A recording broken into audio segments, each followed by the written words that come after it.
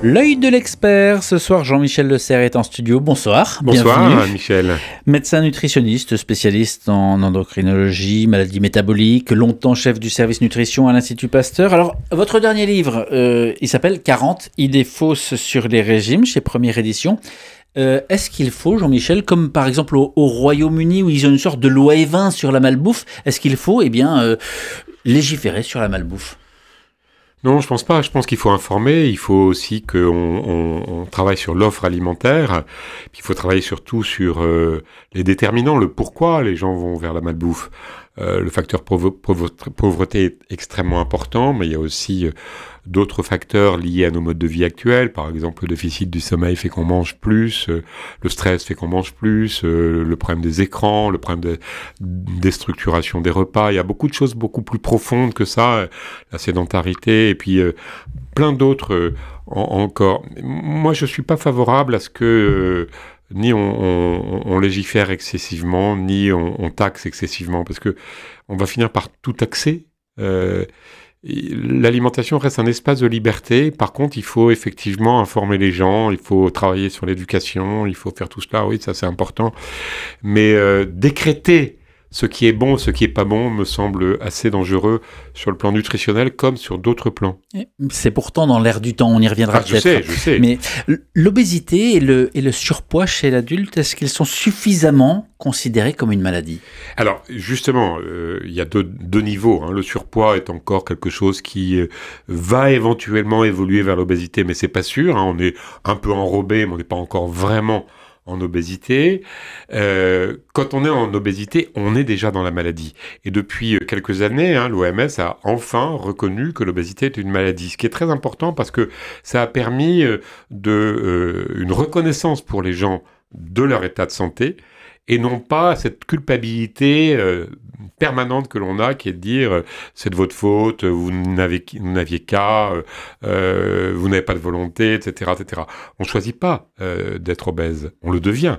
On décide Mm. pas de devenir obèse. Il n'y a pas des gens qui disent ah si j'étais obèse ce serait bien. Non, on le devient. On est certainement un petit peu impliqué pour une part dans cette évolution, mais euh, euh, on, on- on ne le décide pas, on ne le choisit pas. Mais pour autant, enfin, vous savez comme moi que si vous évoquez ce sujet euh, sensible, presque intime avec des personnes obèses, certaines vont vous dire qu'elles s'aiment telles qu'elles sont et qu'à trop critiquer, c'est vous qui risquez d'être classé comme ce qu'on appelle désormais grossophobe. Oui, c'est ça. Donc ça, c'est un peu le contre-pied, si vous voulez, euh, de la de la grossophobie, hein, qui est le fait de discriminer et de stigmatiser. D'abord stigmatiser, c'est-à-dire euh, euh, quelqu'un qui est stigmatisé, c'est quelqu'un dont on dit qu'il est différent des autres et qu'il l'a choisi euh, et qu'il est responsable. Et le discriminer, on met de côté. Et donc cette discrimination est une souffrance pour les gens, une souffrance extrêmement importante. Et le contre-pied, c'est de dire, bah non, en fait, on est comme tout le monde. Arrêtez de nous considérer à part, on a le droit d'être euh, gros comme on est, euh, d'ailleurs on l'a pas choisi, puis d'ailleurs on est bien. Et donc en fait, si vous voulez, c'est euh, le, contre-mouvement est aussi excessif que le mouvement dans un sens. Et discriminer, c'est ridicule, stigmatiser, c'est ridicule, et dire tout va bien, circuler, il n'y a rien à voir. Et donc, il y a une situation intermédiaire qui est de dire, bah, écoutez, d'accord, vous, vous n'avez pas choisi d'être dans cette situation-là. Est-ce qu'on peut quand même travailler ensemble pour que l'épidémie se stabilise et pour que votre poids aussi se stabilise, euh, sans, sans bien sûr que euh, on, soit montré du doigt? Parmi les remèdes, entre guillemets, que vous avez évoqués il y a quelques minutes, vous avez dit prendre le temps de manger à table ensemble. Vous l'avez dit comme ça. Mais quelle importance ça, ça peut avoir? En fait, si vous voulez, une des grandes raisons de l'épidémie, euh, entre guillemets épidémie, parce que c'est pas une contagion vraie de l'obésité, c'est euh, parmi les, les- les- causes multiples, hein, c'est pas univoque, c'est euh, la perte de la régulation normale. Normalement, on ne doit pas calculer ce qu'on mange, on ne doit pas faire attention à ce qu'on mange, on ne doit pas euh, euh, y penser, on n'a pas besoin de ça. L'organisme fait tout seul le travail, tout seul, tout seul, tout seul comme un grand. Et la plupart des gens, d'ailleurs, ne grossissent pas pendant leur vie. La plupart. Puisqu'on a 15 à 20 de personnes qui sont obèses, on a quand même 80-85 qui ne le sont pas. Et chez les enfants, c'est 95% qui ne le sont pas et 5% qui le sont. Mais quand on met à mal la régulation, euh, ça se passe plus très bien. Et quels sont euh, les trois éléments importants de, de, de, de, cette régulation mis à mal? Il y a le repas. Euh, le repas est un très bon régulateur parce qu'on commence à manger, on s'arrête de manger, on n'est pas en train de manger en permanence. Donc ça, c'est une très bonne régulation pour ça. Prendre le temps de manger assis à table avec d'autres pendant un certain temps. Le deuxième élément régulateur, c'est le plaisir. Que quand le plaisir est atteint, eh bien, euh, le désir s'éteint. Hein, on peut faire le, euh, le rapprochement avec euh, une autre fonction essentielle dans la vie qui est la sexualité. Le désir et le plaisir, et ça s'éteint à un moment donné. Donc c'est normal, c'est bien, c'est physiologique. Et puis, euh, le troisième élément régulateur, c'est l'activité physique. Quand vous êtes sédentaire, en fait, vous perdez euh, vos repères. Et, donc, vous savez plus s'il faut manger, pas manger, vous mangez parce que vous ennuyez, ou vous mangez parce que vous êtes euh, inactif, etc. Donc aujourd'hui, on, on observe qu'il y a une perte de la régulation pour toutes ces raisons-là. Et je le disais tout à l'heure au début, le stress, le manque de sommeil, la perte des repas, les écrans, et puis euh, la sédentarité, et puis euh, voilà tout ça. Donc ça, c'est important. C'est pour ça que j'insiste là-dessus. Alors tout cela pose aussi euh, la question du, rapport au corps. Vous êtes Jean-Michel Le Serre, diacre de l'Église catholique. une question peut-être un peu un peu décalée, mais comment est-ce que l'Église, selon vous, a, évolué aujourd'hui? Les silices sont rares, hein, tout de même. L'ascétisme se veut davantage spirituel. c'est tout le rapport au corps qui a évolué. Oui, alors il a évolué, mais il a toujours été présent. Euh, alors il faut faire attention parce qu'il ne faut pas non plus euh, tout mettre dans le même sac. effectivement, euh, se faire du mal pour plaire à Dieu n'est pas le désir de Dieu, donc c'est évident. Saint François de Sales disait soigne ton corps pour que ton âme s'y plaise. Donc en fait déjà il y avait le soin du corps et, Saint Paul disait aussi qu'il faut prendre soin de son corps.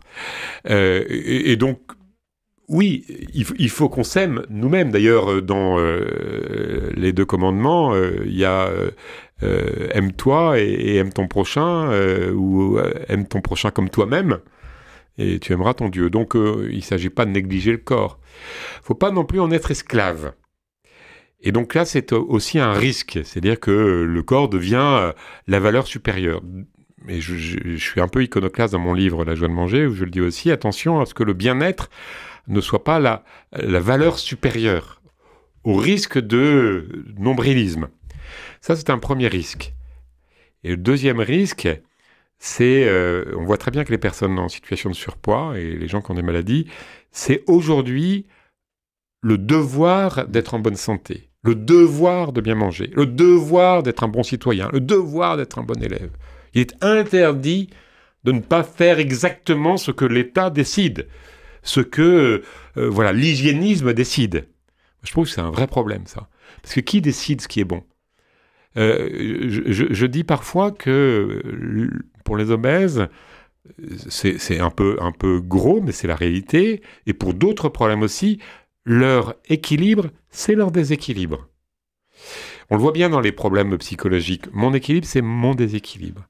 Mon déséquilibre, c'est mon équilibre. C'est-à-dire que quand je suis un petit hmm. peu à la marge, ben, c'est ce qui me je suis désolé, quand, je mange, c'est ce qui me fait du bien. Alors, il faut essayer quand même de, sortir un petit peu de, ce déséquilibre qui est mon équilibre. Mais le devoir d'être en bonne santé peut être très, très difficile pour les gens qui n'ont pas la possibilité d'être en bonne santé en permanence. Qu'on soit tous sains, beaux, bien portants, riches, euh, etc., c'est la volonté de Dieu. Non, la volonté de Dieu, c'est que euh, on prenne soin de son corps, c'est sûr, mais euh, c'est pas forcément. Euh, quelle est la place pour les, les gens qui sont handicapés? Quelle est la place pour ceux qui sont un peu difformes? Quelle est la place pour ceux qui sont pas exactement comme il faut, qui sont un peu gros ou un peu handicapés? Non, attention, le devoir d'être en bonne santé me semble une perversion de la santé. J'ai envie d'aller un tout petit peu plus loin pour vous demander justement qu'est-ce que ça dit de sa relation à Dieu finalement, la manière dont, dont on prend aussi soin de son corps? Oui, bah Dieu nous aime, hein, donc euh, comme on est aimé de Dieu, euh, il, souhaite des gens qui soient, qui soient le mieux. D'ailleurs, euh, en tant que chrétien, en tant que catholique, on doit surtout prendre soin des autres, surtout prendre soin des autres. Et bien sûr, on le sait, si c'est pour se négliger, alors Ceci étant, il y a des, tellement de grands saints qui sont mille fois plus saints que moi, qui ont donné tout au risque de perdre leur santé euh, et de mourir à 30, 35, 40 ans, etc. Bon, c'est pas ce qu'ils nous demandent à tous. En tout cas, ce qu'ils nous demandent, c'est euh, voilà, veiller à ce que chacun puisse avoir accès à une eau potable, une nourriture suffisante, un toit pour dormir. Ça fait partie de nos missions. Et donc, prendre soin du corps des autres, moi, en tant que soignant, toute ma vie, j'ai pris soin du corps des autres. Je leur ai jamais dit c'est pas bien. Toujours dire c'est bien. Mais voilà, je, suis attentif quand même aux, évolutions des discours qui sont quand même un peu parfois euh, euh, trop, trop euh, dictatoriaux, si je puis dire. Revenons au terre à terre, si vous voulez bien, Jean-Michel Le Serre. Je ne sais pas si vous avez suivi le feuilleton sur la qualité de l'eau à Lille. Non. Non, parce que l'eau du robinet contient des, polluants éternels cancérigènes interdits en quantité importante, selon les, collègues de Radio France qui ont enquêté. La métropole lilloise dit, elle dit, la métropole lilloise dit, il n'y a pas de danger, on, est quand même dans les règles. Comment est-ce qu'on fait aujourd'hui euh, pour, euh, pour boire de, de, l'eau sans s'empoisonner et sans euh, acheter du plastique? Oui, alors prenez de l'eau du robinet quand même, c'est bien parce que c'est la démarche la plus, euh, la plus écologique dans la mesure où on évite euh, toutes ces bouteilles en plastique ou prenez des bouteilles, en verre. Alors les PFAS euh, font partie des contaminants dits éternels, c'est-à-dire qu'effectivement ils ne sont pas biodégradables de façon importante. c'est une prise de conscience intéressante. Ils ont des effets sur la santé qui qui sont connus. Euh, ils sont pas responsables de tous euh, nos, nos, nos, problèmes. Euh, on continue à avoir une espérance de vie qui continue euh, à augmenter malgré, malgré cela. Ce qui est intéressant, c'est de prendre conscience de ça.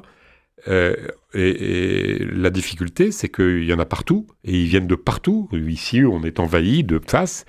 Donc, euh, faut pas s'affoler, mais la prise de conscience par les autorités sanitaires, par les scientifiques et maintenant demain par les industriels, va représenter un progrès sans qu'on puisse pour l'instant euh, considérer qu'on est en danger quand on boit de l'eau. Jean-Michel Le Serre, euh, auteur entre autres de La joie de manger au cerf, était donc notre expert ce soir. Merci d'être passé dans ce studio. Avec plaisir.